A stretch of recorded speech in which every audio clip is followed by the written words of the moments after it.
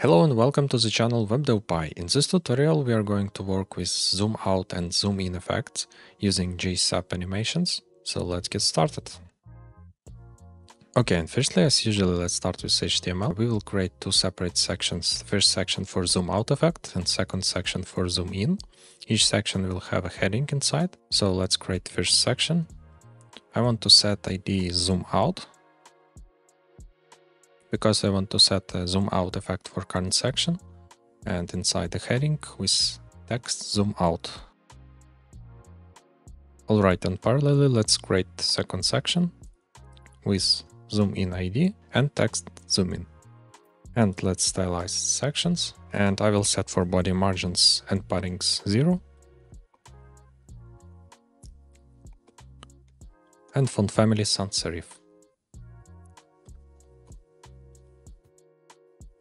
Alright, and let's stylize sections. I want to set height 100 VH for each section, and I want to center headings by using flex boxes.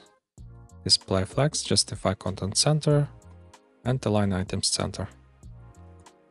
And for headings, I want to set size 20 pixel.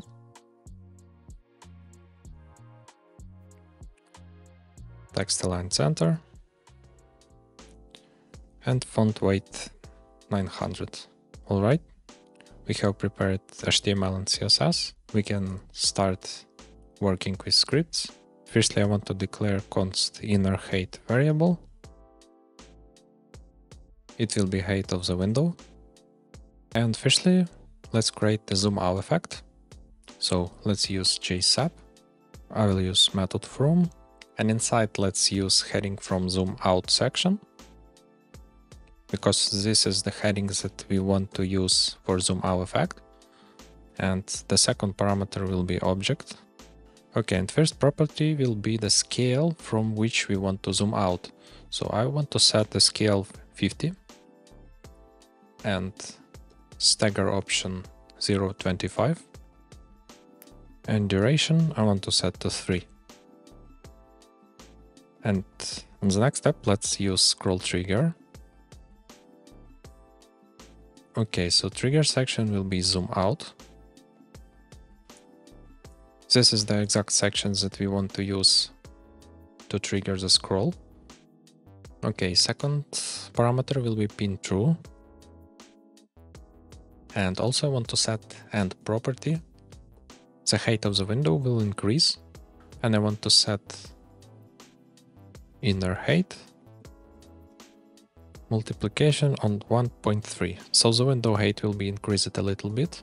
And scrub property for a smooth animation I want to set to 3. And we need to fix over here. So as you can see from the start we have scale 50 and when we finish the scroll and we are jumping on the next section.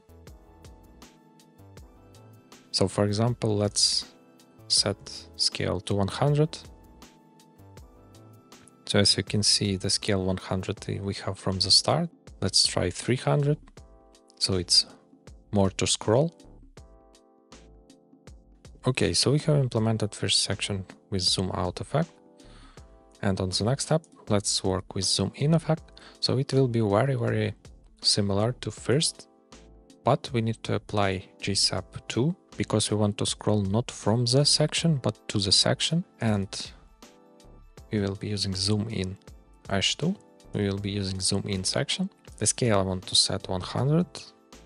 Other options the same, but also for trigger, we will the sections that will be triggered is zoom in, and this section will be triggered once we finish the scroll on the first section.